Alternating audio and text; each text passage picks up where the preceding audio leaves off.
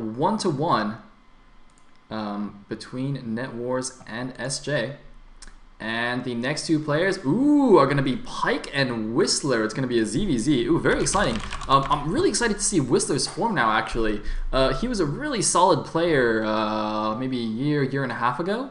Uh, kind of like when I just started casting, basically, he was like a really top tier Zerg. And, uh, uh, and then he kind of like went AFK, I don't know, maybe six months to a year ago um, and kind of just very recently came back again and, and rejoined SJ. So uh, yeah, I, I, really don't know what kind of form he is in, but if he's on form, he's a very very scary player. Uh, Pyke, on the other hand, seems to have been doing kind of poorly recently. Um, you know, he kind of bombed. out. He didn't even qualify for, or no, he, he qualified for TLS, but he kind of bombed out in the early rounds. And uh, I think his results in, in Defiler and, and even Gambits Cup haven't been fantastic. Um, or sorry, Nation Wars rather haven't been fantastic. So, uh, so yeah, a little bit, a little bit nervous about it. I mean, I quite like Pike, uh, so a bit sad to see him uh, kind of slumping a little bit, I guess. But we shall see how he does against Whistler.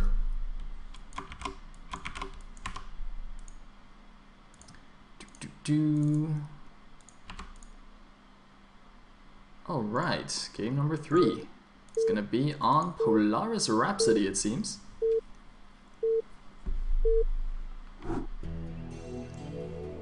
And oops, I didn't change the names properly. My bad. Uh, Pyke Whistler. Alright, so it looks like at the bottom right, as the purple Zerg, we will have Net Wars Pyke. At the top left, as the orange Zerg, we will have Whistler. And good old Pajonk is here again. It looks like Whistler being a cool guy, letting him observe. Good old Whistler. His name makes me think he's like, uh, you know, like a golden retriever or something. Is there some famous golden retriever character called Whistler? I'm pretty sure there is. Oh wait, no, I know who Whistler is. Isn't Whistler um, Blade's sidekick? You know, like the vampire hunter guy? He's Blade's sidekick, isn't he? I'm pretty sure. I don't know. Alright, so either Golden Retriever or Blade Sidekick, one or the other.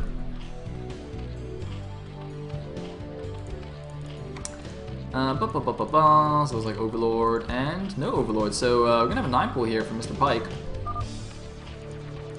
Don't know why. uh, I guess he's not in form. It's all good though, it's all good. Pike's not really in form either, as I was saying. So I guess we'll see what happens. Now, Polaris Rhapsody is a two-player map, so you can see both Overlords heading straight towards each other. Oh, it looks like Pajonk is a Whistler fan. I'm a, I'm a Whistler fan. He's pretty good. Pretty cool, dude. I think he's Norwegian. Or something. He's Scandinavian. I'm pretty sure from... Actually, wait, wait, no. Is he Norwegian? You know what? I can actually just check. Hold on. Uh... Oh, wait, no, I'm on fish. I can't do that. Damn it. Ah, oh well. So it's going to be 9 pool with gas here versus... Uh-oh. Uh-oh. It's versus a 12 hatch. That's probably going to go badly for Whistler. The only thing helping him is the, the fact that the rush distance on this map is a little bit long. Okay, looks like he's actually Norwegian. Sweet. I was right. I was right! Um, but this is not going to end well. Hmm. And another thing, another thing is that the, uh, well, a bad thing for Whistler is that the distance from the main minerals to, to actually defend this is well, it's actually not that long. You know what? Actually, this is not that long. This could. This is. This is okay. There's some maps where it's like a really long distance to your natural, and then that just makes it even worse. But uh, that's actually okay. Uh, so we have two guys on gas. That's pretty standard. And he did, of course, get speed first.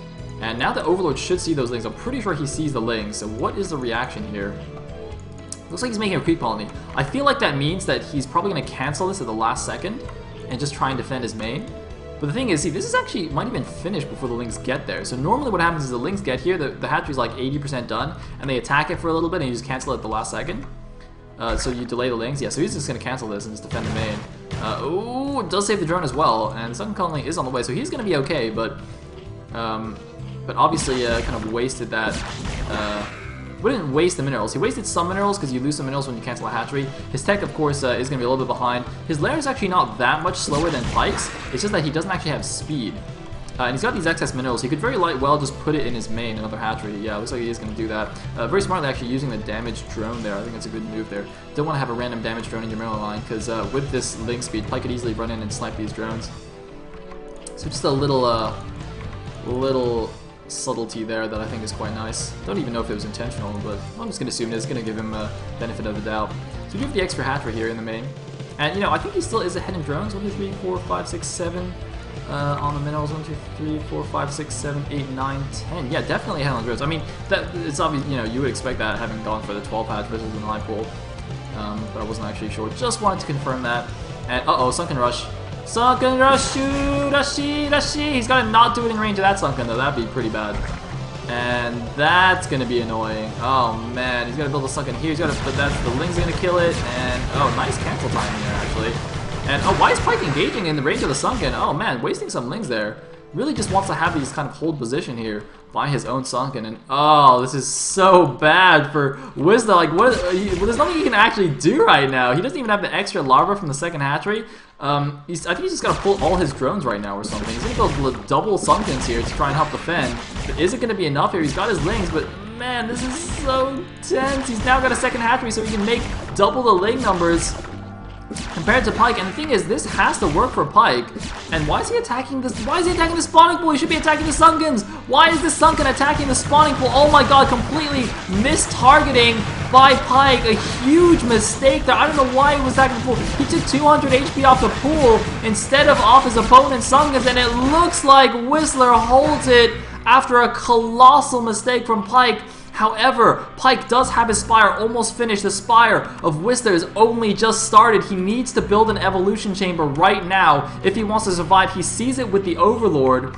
I don't know why. It looks like he might he might just try and delay as much as possible the Lings and try and not make the Evolution Chamber. But the problem is that the Overlord of uh, of Pike sees that, so he can just like send one mutant to go attack and leave one mutant to defend and uh, and you know just basically deny any kind of any scores uh, from his opponent. Looks like a couple of lings on the top of the ramp is going to deny it. Man, listen to this go though. He's got so many more lings. Yeah, he should just go. Uh, there's a sunken though.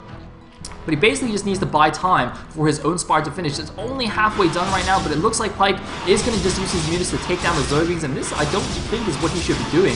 I think he, you know, I'm pretty sure this Sunken here with good drone drills will be enough to defend in addition to the reinforcing mutants, so he should actually just go attack uh, straight for the drone line, kill, kill as many drones as possible. Whistler, just spamming these Lings, really does not want these mutants to go to his base, but it looks like they're heading straight over now, going to ignore the Ling counterattack, which is going to be spotted by this one random mutant. Now, this one Sunken, though, with not many drones, is still slightly vulnerable. Looks like uh, Pike is making more lings to defend against this while going for the Muta counterattack. The Spire is just about to finish. He doesn't have many minerals though. He's to have to make a bunch of Scourge or something. He's to lose a lot of drones in the meantime. But here is the Ling counterattack. It looks like a few Lings running around the backside of the drones, blocking, doing a good block, but a few Lings do close. But it looks like this Ling attack is not going to be good enough. It is going to get taken down here very easily by the reinforcing Lings. Meanwhile, all of the drones are going down. GG!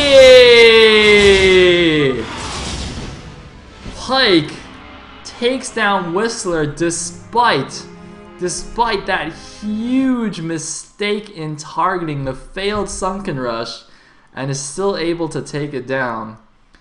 Oh man, that should have gone Whistler's way, I'm pretty sure. But uh, that means Net Wars is going up 2-1 in this best of 7.